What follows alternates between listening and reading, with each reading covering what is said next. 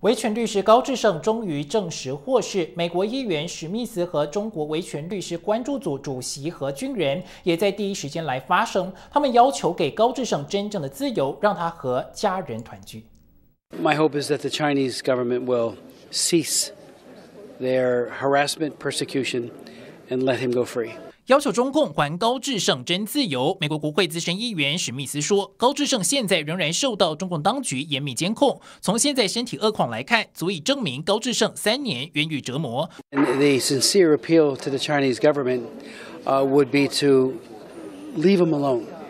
He is a credit to the Chinese people. He's a hero to so many, and and he has suffered. Beyond our imagination, the tortures that he has endured are are numbing. 多次在美国国会为高志胜举办听证会的史密斯议员说，中共迫害高志胜只是显示暴政的脆弱。It's hard to say why a government that has all the guns and all the propaganda machine would be afraid of a voice, a heroic voice, but a voice.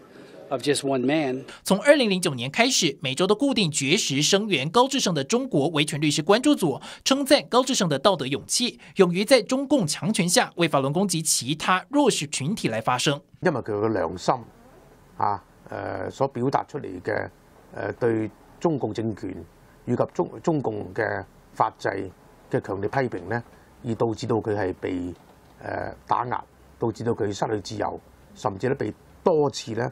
係不人道咁樣嘅對待，以及咧係被殘酷咁樣咧係虐待。